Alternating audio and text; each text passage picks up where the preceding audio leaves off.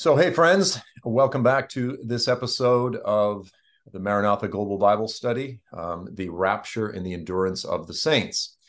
So, as promised, we've now wrapped up essentially 40 sessions, um, working through all sorts of different passages and details concerning the rapture.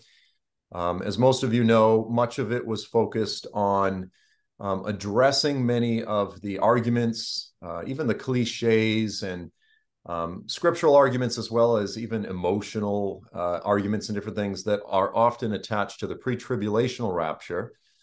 Um, behind all of it, uh, as those of you who have watched to know, my primary heart has not been to argue um, eschatological minutia. My heart has been to prepare the church to face the great challenges that are not just coming, but they're here. And yes, they're going to increase and get much worse. Uh, so as as we've wrapped the series up, I tried to take a few sessions here just to work through uh, some of the strengths and some of the weaknesses of the pre-wrath and post-trib camp. As I've said for years, I sort of view myself as being somewhere in between the two. I think um, that's true if we're using these definitions in a very broad sense. Um, but I think if we're to be a little bit more technically accurate, I probably do fall into the post tribulational camp. And interestingly enough, I, I have actually just sort of arrived at that conclusion after listening um, to one of my friends' podcasts, Alan Kurschner, who we will have on next week. Um, listening to one of his podcasts where he lays out, he says, You have to believe all of these things in order to be pre wrath. And I realized, well, I guess technically I'm not pre wrath then. I'm technically um, post trib, but I did um, want to honor Alan and give him some time as we wrap this up, just to chime in and sort of express um, perhaps some of you know some of the different arenas in which he disagrees, different passages that he may disagree with my interpretation. But I also wanted to uh, give some time for a post tribulational voice. So I'm really blessed to be joined uh, this week. We're all blessed to be uh, joined with Pastor Joe Schimmel. So, Pastor Joe, I actually spoke out at his church uh, in Simi Valley out in California. It's probably been a, a decade. Um, wow. When was your when was your um, film Left Behind or Led Astray uh, published?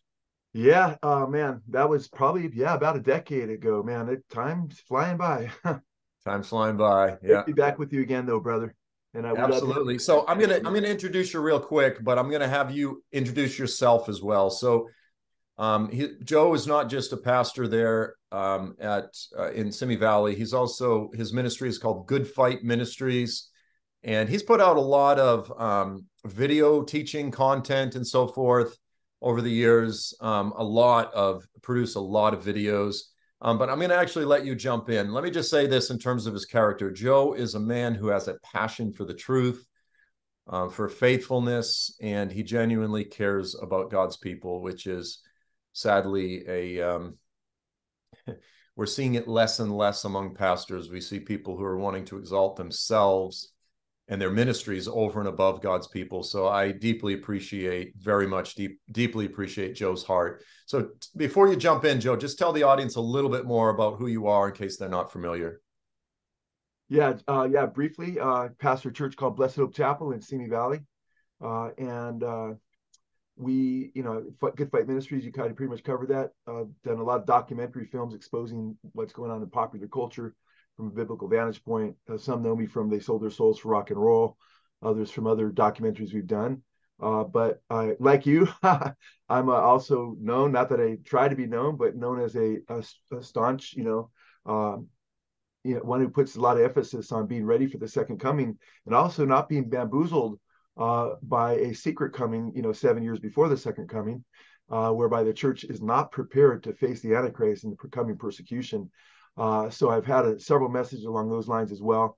And I've gone through the book of Revelation uh, two different times. First time for seven years, verse by verse. The second time about the same amount of time. So, uh, like you, I just love prophecy, and I've always, um, when I've heard what you have said about biblical prophecy, Joel, I've always been incredibly blessed and uh, I thought, well, praise God that Lord's given him an understanding, and I'm glad you're out there because back in the day, you know, uh, before the internet, you know, we were the post tribs were, uh, you know, voices crying in the wilderness. Now through the internet, a lot of people are able to see scriptures instead of a, kind of a monolithic view of the time of the rapture. Yeah, absolutely. And as as I just said, and as I've said many times, you know, um, a pretty significant percentage of those that are listening to my messages, my teaching, they're falling in either the post tribulational or the pre wrath camp. Um, so they believe, both together believe that we're going to face the Antichrist, face the Great Tribulation. Um, but there are some differences. And so that's the primary focus of our discussion today. And um, as much as I talk, I'm going to do my best not to talk and let you let you share. But let's just jump in. Um, so in some of my previous sessions, I discussed what I personally saw as the strengths and the weaknesses of both the pre-wrath and the post-trib camp. Probably the most significant for me personally, the most significant difficulty or challenge for the post-tribulational view is the fact that it really seems as though you have the rapture taking place in between the sixth and the seventh seal. Um, you have the specific reference to the cosmic signs um, you see those same cosmic signs there in Matthew 24 described as being after the tribulation, uh, verse 29, 30, and 31. And that seems to tie it in with the rapture. Um, and so, if you view the seals, the trumpets, and the bowls as being um, consecutive, as opposed to sort of overlapping, then this becomes a challenge. So, you know, I sort of address that um, again very briefly in previous sessions but i want to i want to start right there and and say as someone who has been post trib for a long time very familiar with the pre-wrath camp how do you personally respond to or address that particular uh, issue?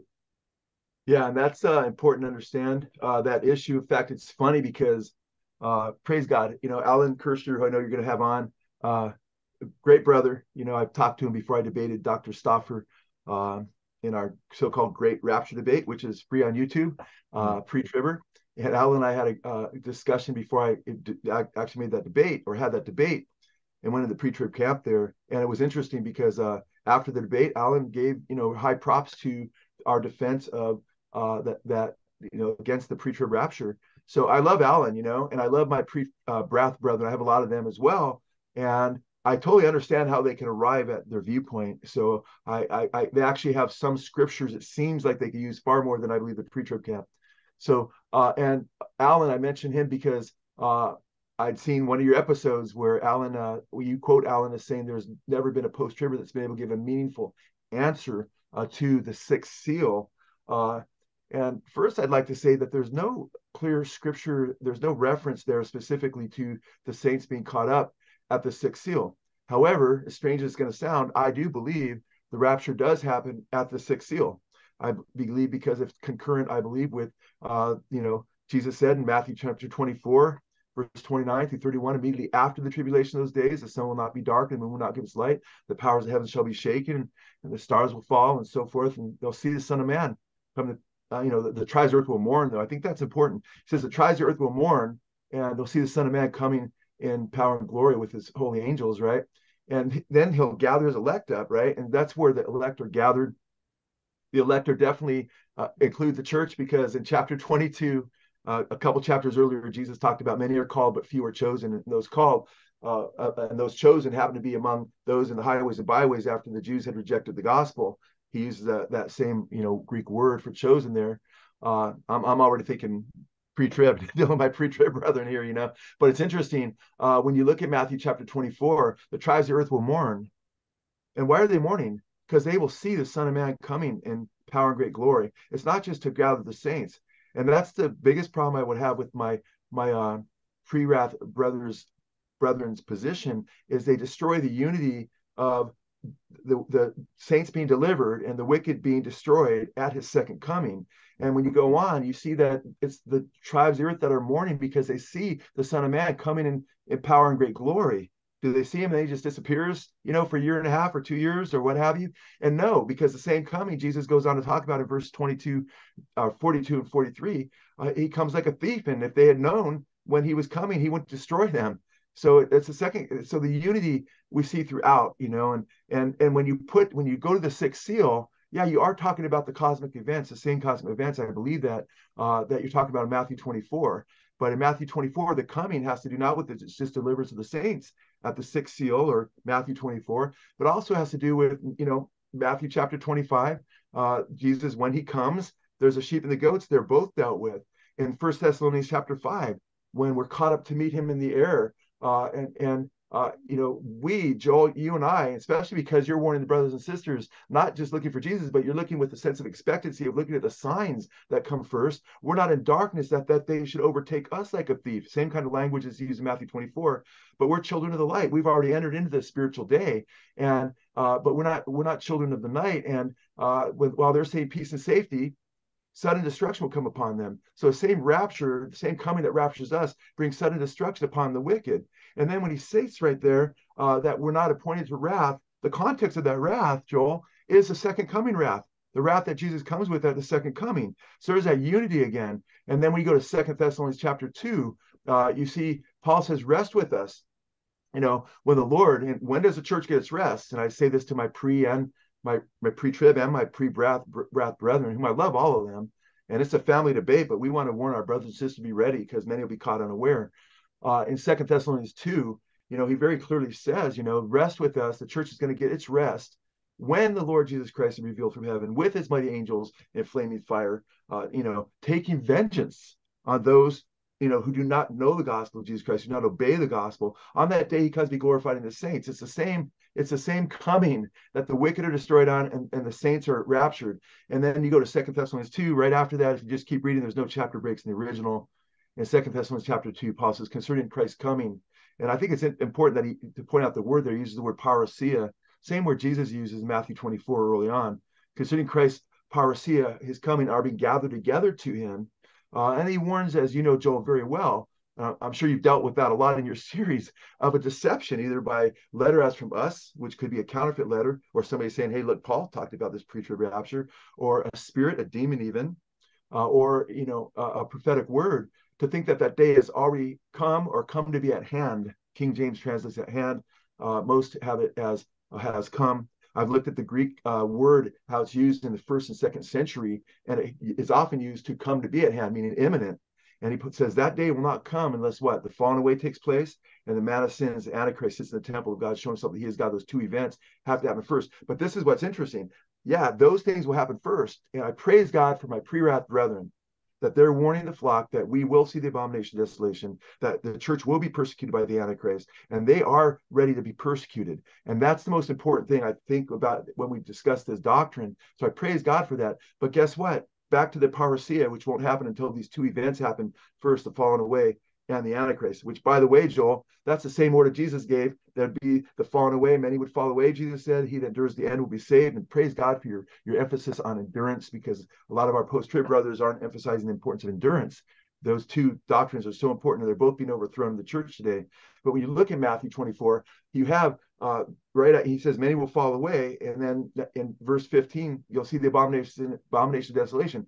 He used the word you, you know, it's a plural pronoun, you know, and he's talking to Peter, James, John, and Andrew, according to Mark 13, Olivet Discourse. So as you continue to work your way through that, then you see after that, you see the gathering of the elect and episunagoge, the words that are used. Paul just, brother, when I was getting ready, I wasn't able to use this, but I had almost a hundred different parallels between the Olivet Discourse, you know, Mark uh, 13, Matthew 24, Luke 21, and Paul in First and Second Thessalonians.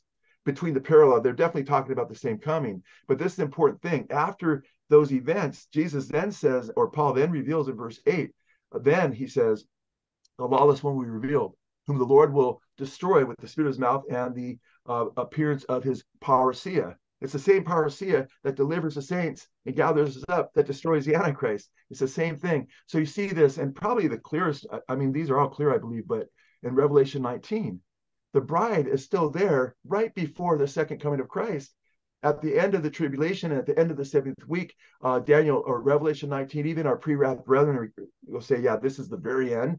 But the problem is they have two last trumpets. They have like pre-tribs, they have some of the same problems. The two last trumpets, same, they have two last trumpets, and there's only one last trumpet. Uh, they have two last days, days in the context of that last day. They have two end of the ages, and they have two first resurrections. Because when Jesus comes back in Revelation 19, the bride is still there.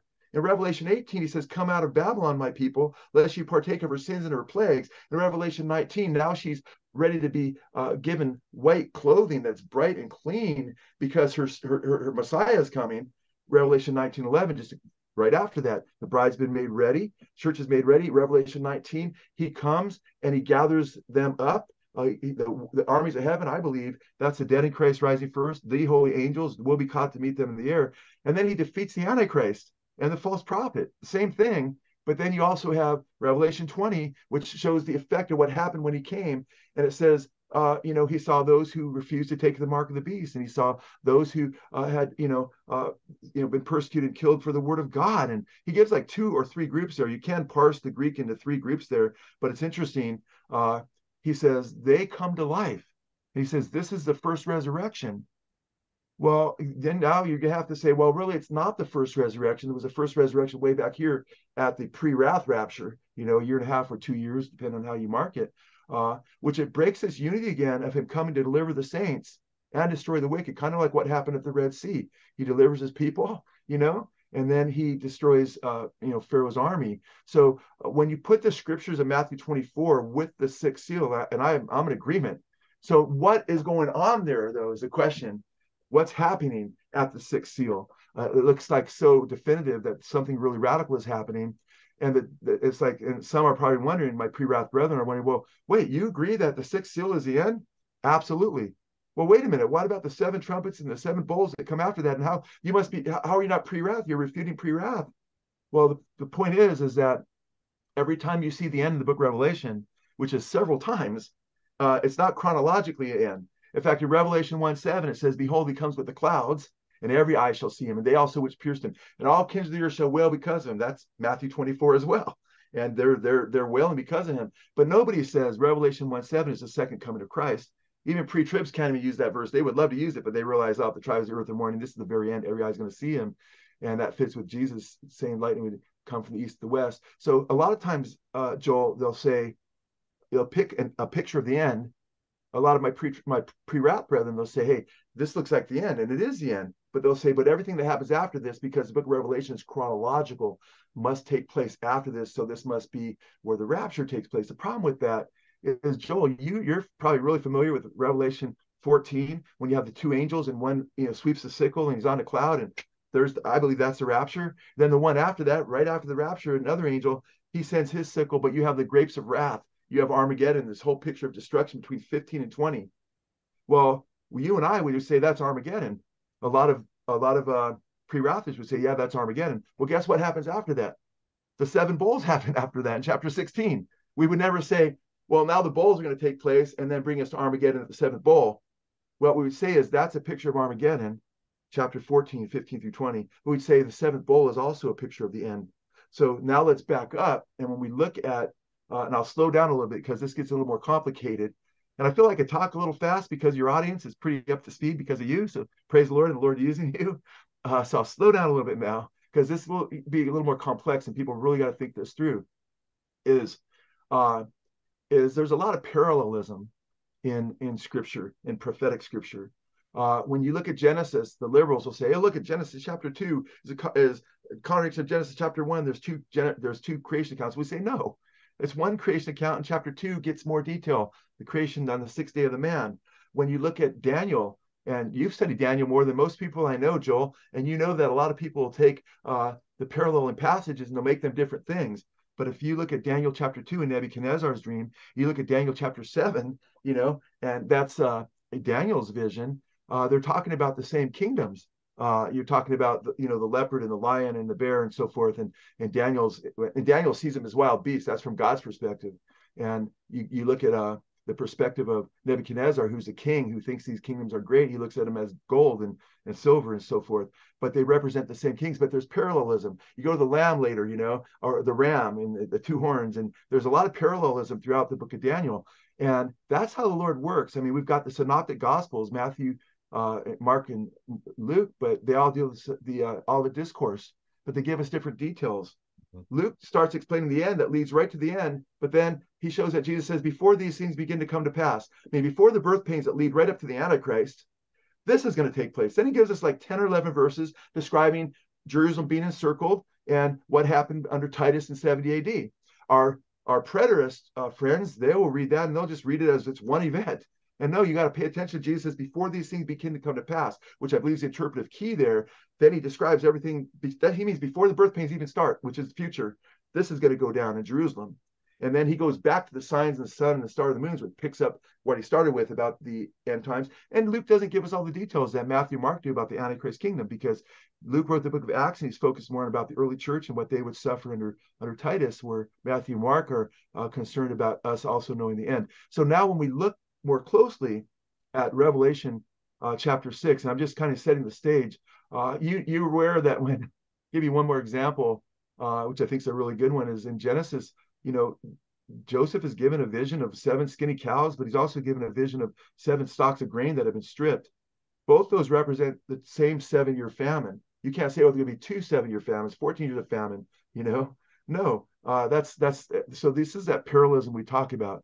So I've said all that to say, when you get to the sixth seal, uh, it's very, very important uh, for your audience to look carefully at that, that passage there. That passage is not about, you know, something that happens uh, long before Armageddon, because that passage describes something far worse than anything uh, that's seen before Armageddon. It describes Armageddon.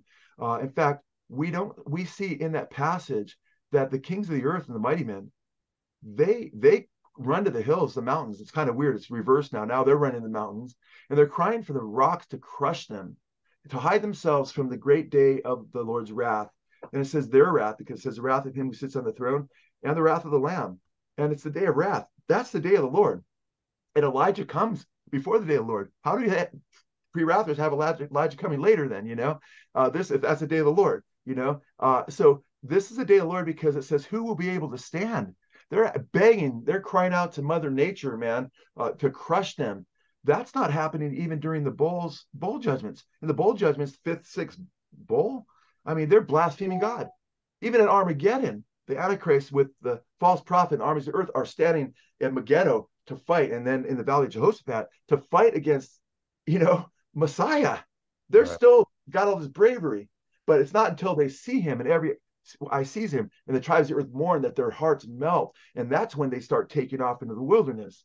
And it's also interesting that he says, "Who will be able to stand?" Uh, because uh, this this mighty wrath and that's what I believe Revelation chapter 7 comes in, is he's showing that guess what? God's going to protect the Jews, his 144,000. Uh, uh, we already, Joel, have been sealed by the Holy Spirit. We don't need a seal on our forehead. We've already been cleansed by the blood of the Lamb. Uh, with the, the, and I'll get back to the sixth seal in a minute, but just to, you know, j- just like there's a parenthetical statement here in chapter seven, I'll deal with that because I think it's beautiful. Uh, and it shows the saints from every nation, kindred, people, and tongue, uh, people that have been redeemed by the blood of the Lamb. And I think it's important for our pre wrath brethren and our pre trib brethren to recognize that the word lamb is used of Jesus in the book of Revelation several times more than all the other books of the Bible put together. Because the book of Revelation, Pharaoh and, and, and Jambres and Jannes, the two false prophets that served Pharaoh, picture the Antichrist, Egypt, a picture of the world. That was a picture of the end times. I'm sure, Joel, you're really familiar. A lot of the end time prophecies about you know when you look at the bowls and so forth they're depicted in picture form typology and what happened with moses and, and the plagues there and so we have this other uh, we have this cosmic i mean this worldwide egypt situation going on now and they were saved by the blood of the passover lamb and that emphasis on the lamb is that's what my pre-trib and uh, pre-wrath brothers need to recognize is that uh, the the wrath that we're saved from is at the second coming when Christ comes, we're saved from that wrath when he comes. But the wrath that happens, there's two types of wrath. That there's the wrath of God's being revealed from heaven against all the godliness and righteousness of men right now. So right. the, the, wrath of God that happens during the tribulation period. Every pre-wrather I know, every pre-tribber I know, Tim LaHaye, you know, uh, in his prophecy Bible, he states, you know, uh, and I, I think it was Thomas Ice that edited it. And there's a note there when you look at the mini apocalypse in Isaiah, you know, Isaiah 24, 25, and 26. And it talks about come into your rooms and your, your rooms and hide yourselves until the day of wrath is past and my indignation passes over you. They point out in the Tim LaHaye left behind, you know, pre-trib study Bible, that God will protect his people from the wrath during the tribulation period. Okay, then why are you trying to scare people into being pre-trib, saying they'll suffer God's wrath, and that's the way we get out of it? Well, I say to my pre-wrath brethren, He's going to protect us from that wrath. And chapter seven is all about how he's going to protect them from it, not how they're going to be raptured before they get into it. And we're not, there's no emphasis on us being, because, uh, you know, by the time you get to Revelation, God expects you to understand that Gentile believers have already been sealed by the Holy Spirit. We're already protected from the wrath. We're not appointed to wrath. We know that. So back to six, and this becomes something really beautiful to me, Joel. And this, I memorized about half the book of Revelation going to working back before I became a pastor. Ironically, when I became a pastor, it was hard to memorize the second half and even keep the first half all memorized because you have to it takes 45 50 minutes for me to go through the first half to keep it memorized. And when i was doing that the symmetry just blew me away. I remember reading around the time i was doing that a, a university professor saying who was teaching his kids the book of revelation his students that john he thinks was on an acid trip. When you read the book of revelation and you see the symmetry it's so powerful and the symmetry of the sixth seal with the seventh trumpet with the seventh bowl is breathtaking when you look at it. And by the way, this isn't a novel view. If you look at uh, and and and, I, and I'm gentle with my pre-wrath brethren, but if you look at Rosenthal's book, the subtitle was this new view, you know, and it, like pre-trib, it was a newer view. Although I believe it has greater precedence than the pre pre-trib view because there were some speaking of this duration of, of wrath that was going on, uh, but not quite as elegantly as in, in specific as you see with the, the sixth seal being before the end. So it's interesting though, is when you look at uh, the sixth seal, seventh trumpet, and seventh bowl, the seventh tree is amazing, but it's not a new view because the very first commentary on the book of Revelation is Victorinus.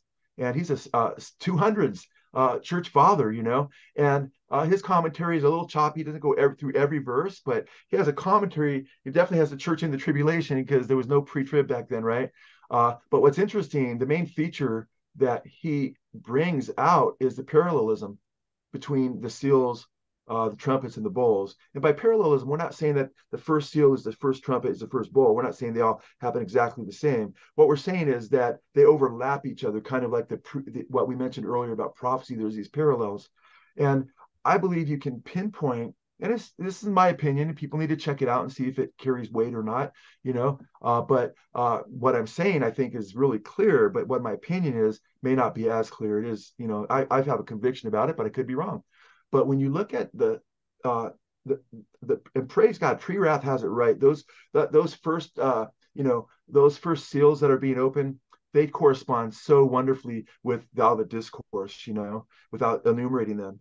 And then when you get to the fifth seal this is very, very important that we see what's going on here because it's God's people interacting with his judgments. And they're saying, they're seeing like the prophets of old, they're like, God, what are you waiting for? kind of thing. And of course, his he, his patience, we need to take his patience as salvation, uh, Peter says in Second Peter, and he tells them to be patient. And they say, How long, O God, until you avenge our, our blood and the, uh, on the blood of our servant, you know, your servants, on those who dwell on the earth? I mean, they're just destroying us, which is a picture of how and by the way, even Matthew 24 has this recapitulation because Matthew 24 starts where you're going to be, you know, you be killed for my namesake and everything. Then when the abomination of desolation comes, then there will be great tribulation. That's when it kicks off. So that even recapitulates in, in a way. So it's interesting when you look at the prayer, and this is and this is where I'm going to slow down a little bit, is uh, you know, in in chapter six of Revelation, we get the fifth seal. They're crying out, How long, O God, and you avenge our blood, you know, on those who dwell on the earth. And he's they're crying out, when's that vengeance going to come? Because I mean, they're they're into the fourth and fifth seal now, and we have to imagine this the, the the scroll is a scroll that has seven seals. And when you get to the sixth seal you got to imagine the seal opening up. When they get the sixth seal the whole thing hasn't opened up yet but you see the most you've seen now of that seal you're able to read. And there's that that there's that revelation. And i believe he gives two answers to that that prayer joel. How long until you avenge our blood and those dwell on the earth he gives them white robes. He says wait a little while. And he says something very important. Wait a little while until your brethren suffer in the same way that you suffer. I mean, you're waiting for others, just as it says in Hebrews 11, the saints that have gone on before us, the Hall of Faith saints, that they will not be perfected without us. We're all waiting on something. And he's saying, wait till your brethren be killed in the same way you are. What else are we waiting for? When the gospel of the kingdom is preached in all the worlds, which all the nations, and the end will come. And that'll come up in a minute when you put these things together. The cemetery is incredibly beautiful. And they, they're saying how long, and he gives them two answers. First, he gives them the short answer. He gives them the, uh, the a, a clear, definitive answer. I'm going to do this. And that's what the sixth seal is about. It's almost Joel, if you're talking to you, and I know you love to witness to Jews, and I love that about you. And I'm like, I love to do. I, I, I was planning on doing a prophecy video going to Israel. I'm supposed to be leaving in a few days, but we can't get in there now. You know, we had a whole team going, ironically, right? But it's interesting. You might give them the short answer. Hey, look, all Israel will be saved. You know, and look, they'll see the one whom they pierced, Zechariah 12. You know, or and then you might say, and they'll say, oh wow, but they will say, hey, wait a minute, but heavy things are going to happen. Jacob's trouble. You know, let me explain this to you, brother, or or friend, as you're trying to bring him to Christ. So uh, what happens is the Lord gives them a picture of the end, as He does throughout the Book of Revelation. He gives a picture. This is what the end looks like. But then you go to chapter seven, which is that parenthetical chapter, saying, "Look, I've got you guys taken care of," because He's He's answering this prayer. They saying, "Hey, look, I'm taking care of the Jews, my people, and I'm taking care of the Gentiles who I've grafted in among them." And then He gets back to the answer again in chapter eight after the parenthetical statement. Then you see the prayers of the saints going up before the altar. That's the prayers that include chapter five. And then he shows the longer answer where the where and I'm getting chills all over the place right now, bro. Okay. And that could just be me. Maybe it's not the Holy Spirit, but man, I'll be and that doesn't happen all the time. And then you see chapter eight, the first few verses, you know, you see the uh, the longer answer where the prayers of the saints go up again. I believe it's the same prayers. And then you see the the bowl, the uh, the trumpets start to blow, right? And the longer answer, hey, these things are going to take place on the earth, you know. And what's fascinating about this, uh, to me as well, is when you look at the, as I mentioned, the symmetry. Uh, he's he's very concerned that his people understand these events and and the timing. And and and as you move through the the uh, trumpet judgments now, one by one, they go to the seventh trumpet and what's interesting, when you get to seventh trumpet, you have another picture of the end. And and to me, it, it becomes very clear because something very interesting is said, Joel, uh, is before you get to chapter 11, verses 15, you know, through through 19 there, you get to chapter 10, verses 6 and 7.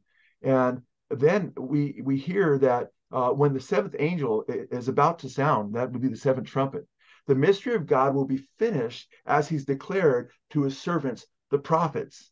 So he lets them know a mystery is going to be finished, which he's declared to his servants, the prophets. Well, keep in mind, the saints are waiting how long until you avenge our blood? Well, wait until your brethren are killed. Things are going to go down with your brethren. But also, it's interesting. He says the mystery of God will be finished as he declared to his servants, the prophets. When you look at uh, Revelation or, or Paul in Ephesians 3, you have the church of the mystery mentioned three times. And the mystery there is the Gentiles uh, uh, being incorporated among the Jews as God's people. Uh, and he calls this the church of the mystery and this mystery that's been hidden from long ago.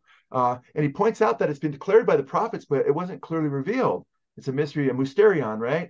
Uh, and then you see that again in Revelation or Ephesians five. You know, I behold, it, you know, or not, we're not behold yet, right? But we're at, uh, I tell you know, he talks about the mystery uh, of Christ in the church, the mysterion, and there's this mystery of the church made up of Jews and Gentiles, with Israel also having their own identity to agree still nationally until the very end, and then into the New Jerusalem. But then it's interesting in Romans 16, he talks about the mystery. He says, uh, and Paul, by the way, in 3 6, I think is in Ephesians, back to Ephesians, he says, to be specific, I'm talking about the Gentiles being incorporated in God's people. In chapter 16, Paul talks about this mystery, which is preached to all nations to bring the obedience of faith.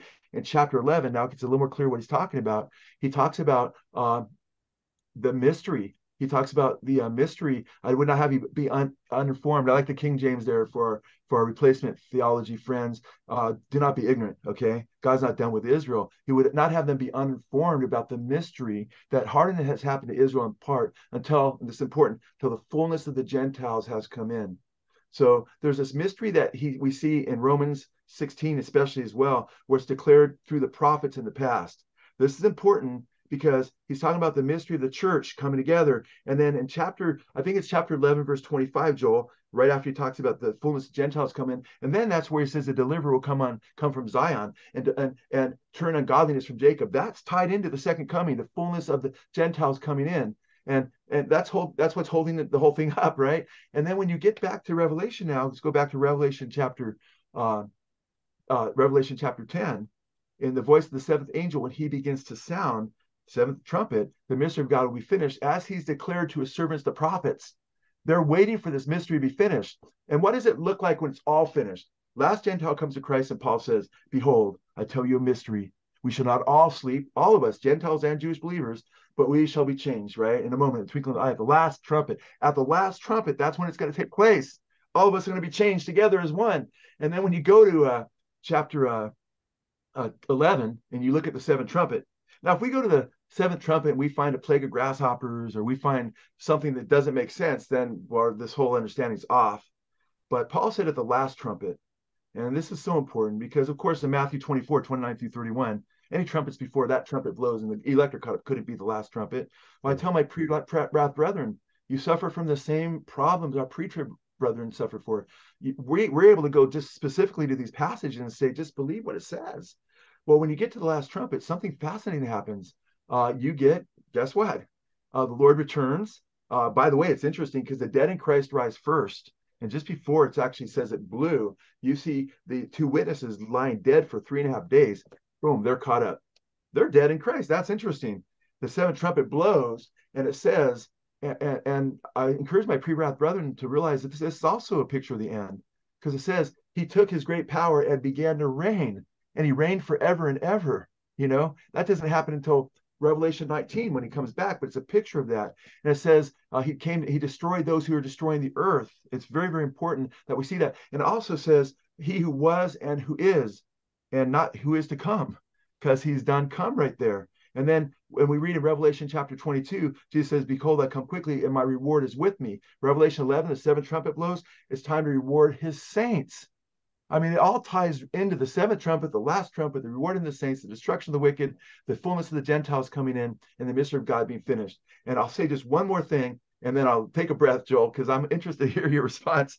When you go to the uh, seventh uh, bowl, you see the same thing. So I'm saying it really looks to me like the sixth seal, seventh bowl, and seventh seventh trumpet, and the seventh bowl all bring you to the end. And uh, and what I would do personally is when the fifth seal starts, uh, and you see when they're crying out to God, and that's opened.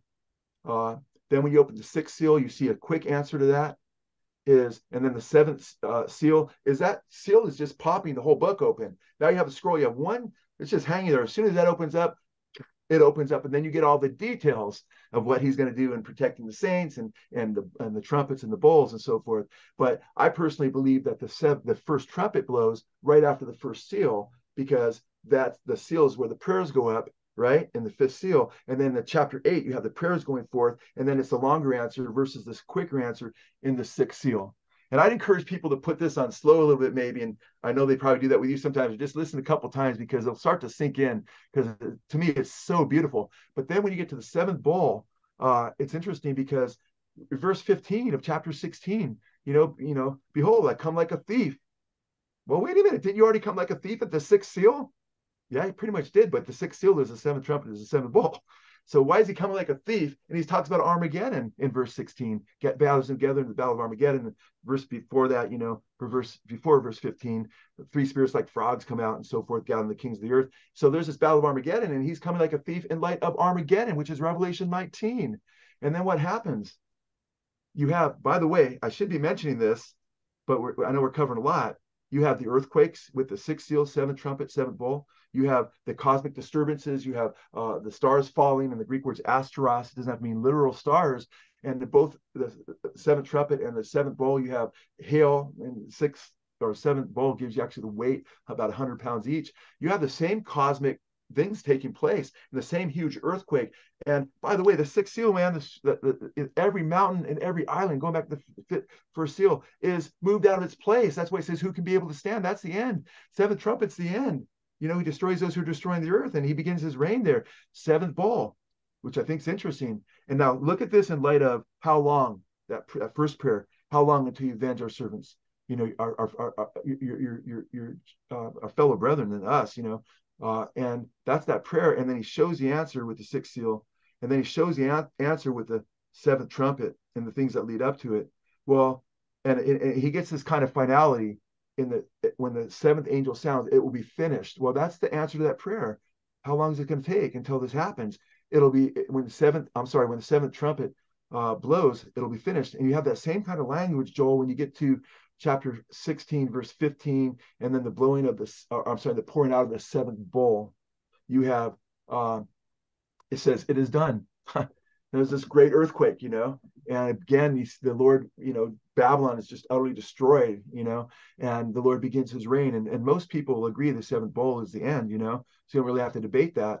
So I honestly think what Alan says is the hardest part for post tribs to get over is one of the most beautiful, powerful things in scripture that shows that the end is at the very end.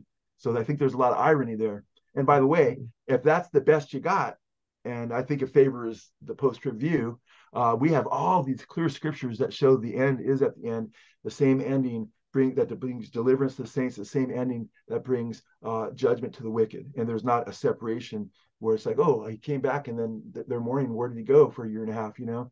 And, you know, I love my pre wrath brethren. And you know what? Hey, guess what?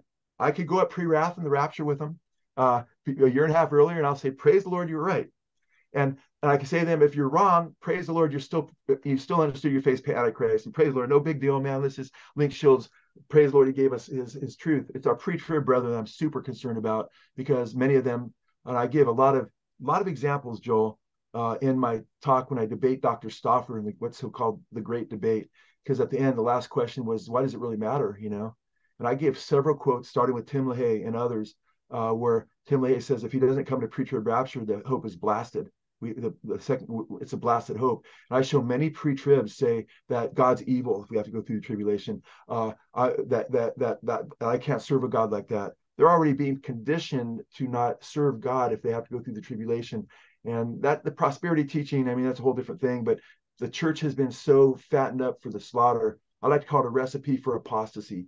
Doctrines that say you won't go through the tribulation. If you go through the tribulation, don't worry, you can't fall away. It's impossible to fall away. And by the way, if you take the mark of the beast, you know, you can still be saved after that. That's all be that's become popular teaching. Aside from postmillennialism and preterism and everything else that doesn't leave the church ready. So I praise the Lord for what you're doing. And I hope I didn't talk too fast, but praise the Lord. No, thank you so much, Pastor Joe. Um, yeah, everybody can go back. I don't know if there's a button to listen on like three quarters. You know, I'll be like, "Welcome everyone to Pastor Joe." You can sit down with your notes and and go through everything. But so essentially, what you're saying is that the Book of Revelation is frequently recapitulatory. It's it's reviewing the same general story from different angles, different perspectives, telling it using different imagery and different symbolism, but it is recapitulatory and it shouldn't be understood in a, a very rigid, strict, um, consecutive view. And if we take that perspective, it just actually becomes rather confusing. Yeah, absolutely. And, and even my pre-wrath brethren would have to concede that there's the second coming is mentioned several times throughout Revelation, and they wouldn't say every event after it's mentioned actually takes place. They would have to, you know, and the example I gave was verses uh, 15 through 20, Revelation 14, very clearly Armageddon, you know, but then the bowls happen after that. And they would say, well, they would have to at that point say, yeah, that's a picture of the end. Well, the sixth uh, seal looks like a picture of the end as well. Yeah. So the way that I um, probably try to articulate it is, uh, you know, I always joke and I say, ironically, when I got saved. You know, I was a big pothead, acid freak. Um, and ironically, the first thing that I did was opened up the Bible and read the book of Revelation. Well, you talk about a recipe for something. I mean, that was a recipe for confusion. Um, no. Actually, I still have the Bible here that I was reading just before I got saved, and there's actually ashes in between the pages because I was getting high as I was reading the book of Revelation. But um, so I I often say that our view of the end times um, it should not be revelation centric. What I mean by that is to say the Bible already lays out the timeline and the template for the end times throughout the Old Testament. And then, of course, we get a lot more in the Olivet Discourse in the New Testament. But when you get to the book of Revelation, because I think this is what a lot of Christians do, is they start with the book of Revelation and they form their theology and their timeline from the book and then they try to retroactively go back and make Daniel and the various prophets fit with their very revelation centric timeline whereas the reality is you know the bible was revealed in a particular order and our timeline should primarily already be formed and fashioned even before we get to the new testament jesus brings clarity to it And the book of Revelation is really kind of as you said, it's a series of pictures, a, a series of snapshots. And this um, this explanation may not sit well with a lot of our audience, but um, you know, I as an artist, as someone I've been in the, the field of art for so many years, I've read and I actually have a real affinity for sort of like Byzantine, ancient Christian art and iconography and this sort of thing. And so when you actually read about the philosophy between again historical Christian iconography, and I know this sounds weird, but like for example, with icons of John the Baptist, um, he'll often be holding a basket with his own head. So he's standing there, you know, making some Christian gang sign or whatever, and he's holding his own head. And you go, well, that's not like he wasn't walking around carrying his own head, but that's intended to convey a spiritual reality, a picture that throughout John the Baptist's ministry, his future martyrdom, that was part of his ministry. That was actually part of his message. That was his calling that he always carried with him. And so it's hard to describe what that is. Again, it's a it's a spiritual snapshot. And you see all, all this these symbols often in, in the icons, and some of them are a little bit spooky, and some of them are, are actually very inspiring. But in a sense, the book of Revelation is very similar. Um, so let's say Revelation 19, you've got this, I mean, unarguably the quintessential picture of the return of Jesus in the whole New Testament. But it's not just as though John had a vision of the actual event. I mean, there's a sword coming out of his mouth. Um, you know, again, that sounds like something out of an acid trip. He's got King of Kings and Lord of Lords written. Is it tattooed on his thigh? Like that's not literal. Um, he's his robes are soaked in blood. You know, that's an illusion. It's harking back to Isaiah 63 when he crushes his enemies like grapes, stomps them, stomps the winepress of the wrath of God Almighty. Well, how is he coming back from heaven already soaked in the blood of his enemies? So I don't see Revelation 19 as a literal vision of the actual return. I see it as a prophetic picture, a spiritual, symbolic picture of his return, drawing from all of this Old Testament imagery and really, in many ways, I see so much of the book of Revelation like that. So if we understand the book that way, then it's actually much easier from my perspective to see it as you just described, which is it it's telling the same story multiple times using different images and symbols, and these tend to overlap. Um, if we if we try to read it as though it's a rigid timeline, then I certainly understand the pre-wrath um, you know argument and criticism. They go you have to first open the seals and then after that is the trumpets. And they really emphasize the the essential importance of having this consecutive um, seals trumpets bowls. But i personally don't have any problem at all as seeing them as being recapitulatory and as you said um, overlapping. So here's my question to you um, because I know that there have been a handful of academics that were post trib um, that have written books or studies and commentaries. Off the top of your head, do you know anyone who has written who really highlights and discusses these these parallels, like the commonalities between the seventh seal, the seventh trumpet, and the seventh bowl, and some of these type of things? Do you know? Are there any studies for people who really want to dig into that? I wish I could point you to a study. I know that most scholars, uh, and not that we go with most scholars, because uh, but most scholars in the Book of Revelation uh, tend to agree that there's recapitulation. Uh, most exegetes that actually write commentaries, they'll admit that there's a, a fair amount of recapitulation. Uh, Gundry, I think, from a post-trib perspective, uh, he talks about. I don't think he goes into any detail, but in his book, The Church in the Tribulation, and then I don't know if he covers it in First the Antichrist, but uh, that's the first time I'd seen it mentioned in my studies and when I was reading the Church in the Tribulation, which is a very good academic book on it. But he mentions a recapitulation there and so forth, and he may uh, talk about the sixth seal, seventh trumpet, and seventh bowl being the same. But if he does, it's maybe in a paragraph or two. Okay. Uh, I've developed my viewpoint through teaching through the memorizing a lot of the Book of Revelation and then uh, teaching through it two different times. Uh, so I've had time to uh, in fact, brother, before I came on with you, you know i was going through these passages and it seems like there's always more fruit that's yielded when you meditate on scripture. And i've looked at these scriptures so often and it hit me like a ton of bricks you know. Uh, the mystery of god i already understood the mystery of god being finished at the seventh trumpet as to be the mystery that god reveals through the new testament which is paul's main mystery over and over again that the saints will all be gathered together jew and gentile in one body. Uh, but it hit me like a ton of bricks. That's still an answer to that prayer how long until you avenge our blood? He's wait till your brethren are killed like you are. You're still waiting for them. So I think, uh, uh, you know, uh, maybe you and I have to co-author something on that, bro. we'll see. But uh, but I, I think that you know, uh, I, I think that, and I don't say, and I think it's important because I don't want to make anybody misunderstand. I know I already corrected this, but just in case, we're not saying look at the first seal, it's the first trumpet, and it's the first bowl. They're all the same when we're, we're, we still believe, I believe, and I think you believe as well, that the, the seals happen sequentially, you know, and then then also the trumpets happen sequentially and the bowls happen sequentially. It's just, I believe, the seal, since the last a sixth seal, not seventh, the seventh seal just opens up the, the whole book, that uh this but where do they happen in relation to one another? And I believe since you have the prayers of the saints and the and the fifth seal, the sixth seal shows the very end but then when you go to chapter eight and their prayers of the saints are going up again, and now you have this slow march to Armageddon, that it's wise to put to see the first uh, uh, the uh, the beginning of Revelation eight uh, as on par with or with the fifth seal in Revelation chapter six, because then the trumpets go and they lead up to what happens at the sixth seal and the seventh trumpet and the seventh bowl.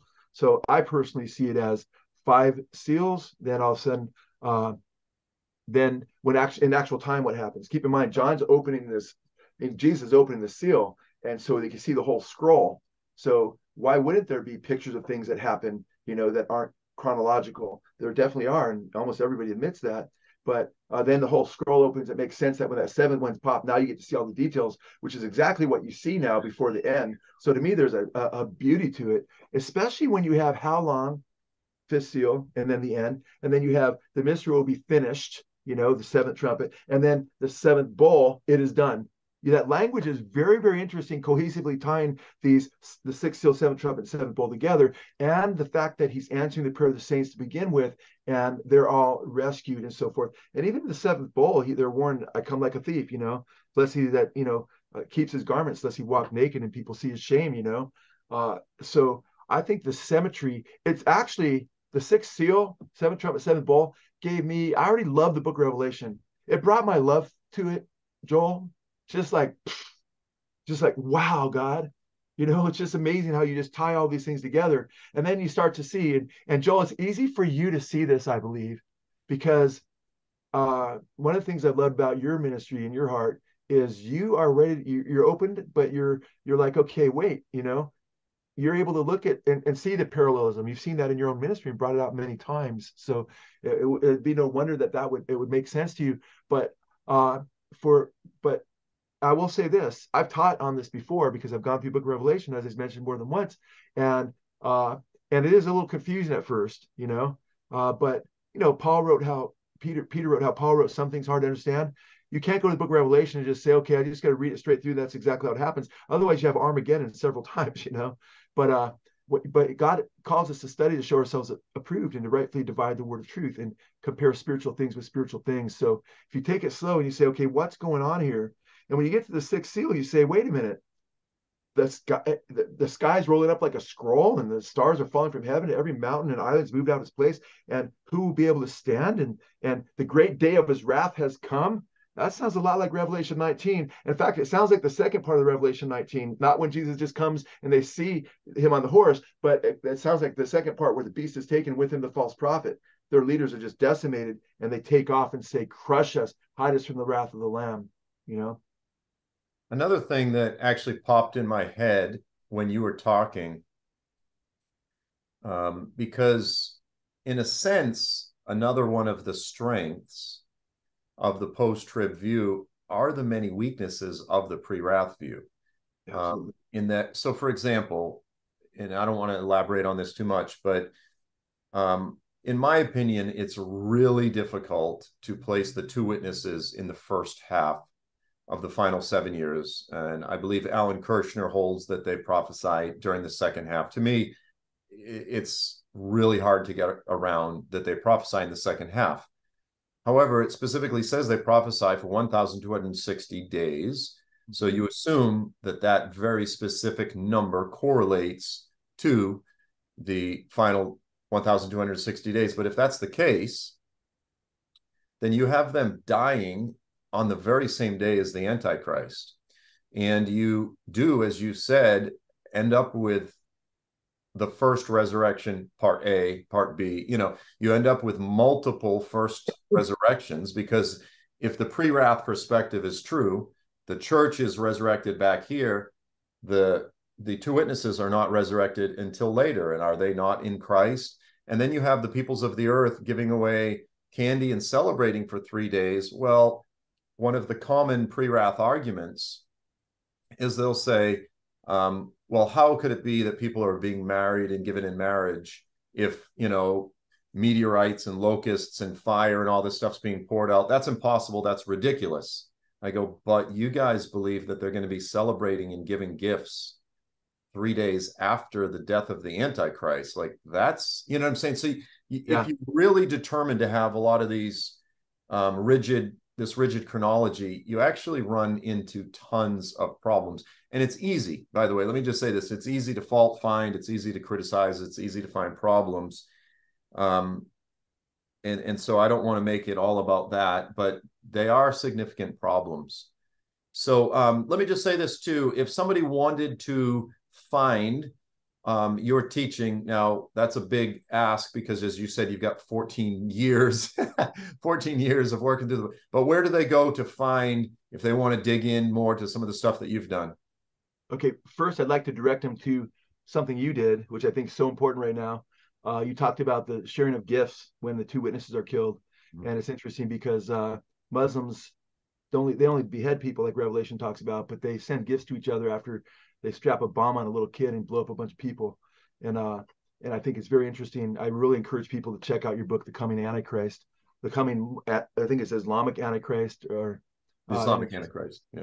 Man, you guys got to get that. If you have not read that, especially with the times going on, you need to read that. That blessed me so much, Joel. And uh, I just think that's such an important book. Uh, but I would say they could go to uh, Good Fight Ministries on YouTube and they'll see a lot of our podcasts that take place. Uh, we deal with a lot of contemporary issues that are taking place from a biblical perspective and so forth. And uh, they could go to uh, Blessed Hope Chapel uh, website, or I'm sorry, on YouTube as well, and hear messages. But uh, we have goodfight.org as our website and so forth. And uh, but I, I, deal with prophecy. I, I, can't get get away from it. Kind of like you, Joel. I believe God just snapped it on our hearts to deal with these things. And I emphasize a lot continuing the faith and so forth. And and to the point where people are hearing that a lot, but I go through scripture verse by verse often, and sometimes a lot of times topical things as well. So, uh, but I think it's important too to keep in mind with regard to what you just said in Revelation 18 when you're talking about, hey, how can you know the world's going to be saying peace and safety before the sudden destruction comes upon them. In Revelation 18 6, that's when he says, Come out of my people, out of Babylon, lest you partake of her sins and of her plagues. And that's right before the second coming. It's right before Babylon is destroyed. So it seems as though uh, there are believers that are still uh, in jeopardy if they don't get right and they get, you know, like like it says in Luke chapter 21, they get overcome by the the cares and the fears of this world and so forth. So it's not as rigid as people want to make it as far as it's just horrific everywhere all at once at the if you know there yeah. are times where believers can get actually caught up in the world and and you know be in serious trouble and actually you know, another interesting point there, because I've actually never thought about that, is it's a glaring problem with the pre-trib view. You've got saints throughout the tribulation, and they go, well, those are tribulation saints that got saved after the rapture. But the pre-wrath view actually has the same problem because they let's say they say we got raptured a year before the return of Jesus. Well, then you've got believers. So you would actually have to call those from a pre-wrath perspective wrath believers. Yeah, absolutely. And uh, for our pre-trib friends, uh, they want to uh, the saints. The word saints is used throughout Scripture. Hagios, you know, of, of, Christians, of believers, Gentile believers. You can apply it to Jews. You should during the tribulation period. There'll be Jewish believers, and they'll be converted at the end for the most part, Israel. But it's interesting when you look at when it talks about the bride being made ready. When they say all oh, the churches that mentioned in, in the book of Revelation from these, you know, chapter, you know, four on it until, you know, later uh, after the tribulation, that's not true. 19, right before Jesus comes, it says his bride will be made ready. But it says when it's been given to cleanse her, or I'm sorry, to to clothe her with the uh, these this white apparel, which he says, which is the righteousness of the saints. So saints are identified as the bride, which is obviously the church. The bride is never it's, it's used of the church throughout the New Testament. Also, when uh, after the millennium, when Satan's unbound, you know, for uh, after the thousand years, he goes make war against the Jews and the Gentiles who are reigning with Christ. And he call, says against the saints.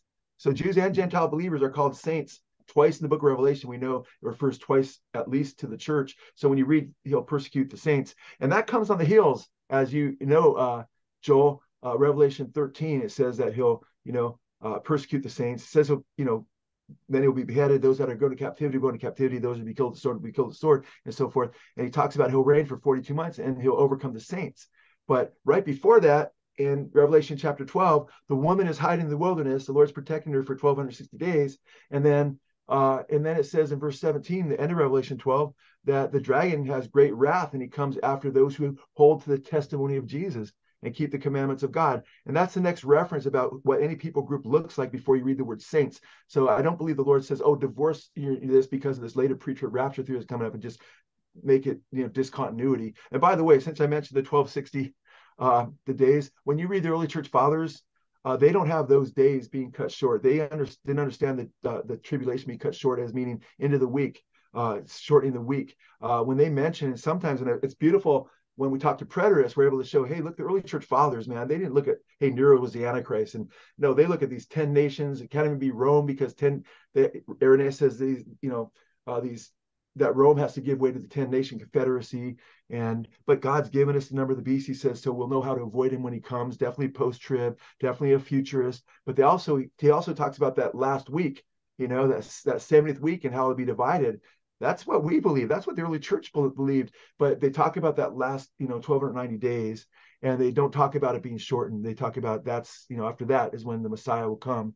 So we're on really good church history ground uh, when it comes to our theology. And we don't say, hey, we got it right. We just say, we say this and we labor this point because we want others to see, hey, there's a lot going to, ha- going to happen. And the more we can understand about the times, I like the sons of Issachar, says they knew what to do because they understood the times. And and there's great application for our brothers and sisters in Christ when we understand the times we have clarity, especially because the end times will be characterized by mass confusion, even in the church, you know? Yeah. Yep. The Lord is going to shake everything that can be shaken. Um, he's going, judgment begins in the house of God. And I personally believe that shaking is already beginning. And um, we need to absolutely be ready for the chaos. So listen, Joe, I know you've got another appointment here in about 15 minutes or so. Just want to thank you so much for coming on. Again, thank you for your heart. Um, I'll put up the link to Good Fight Ministries on the site so people can um, follow through that and, and track with you and so forth. But um, yeah, thanks for the good fight. Thanks for keeping up the good fight, for being consistent throughout these years, especially in your part of the world. Um, you've got the California accent. I've lost my Boston accent. we we could have uh we could have played with that a bit like whoa joe that sounds wicked hard. It sounds like those days are going to be so hard joe. Like, yeah, the car and Harvard in the garage and uh, what's the car i got a friend that's got the boston accent when he wants to. Yeah, hey joe i love you bro. I praise god for you as my brother. I praise god for all my brothers and sisters in christ. Pre-trib pre-wrath post-trib uh, let's keep discussing these issues. I praise God for you've been such a light, and I just uh, praise God for your ministry and praise God because a lot of people, your audience, that are, are uh, have are, I've learned a lot from you. Uh, keep him in prayer. Keep us all in prayer, and uh, just uh, I want to give thanks for you, brother. All right, awesome, Joe. Thanks again so much for your time. You have a blessed day, and I'll get this together and send it to you, and we'll talk soon. Okay. God bless you. Talk to you again. Okay. Blessings to y'all. And for the rest of you all watching, God bless you all. Have a great week and Maranatha.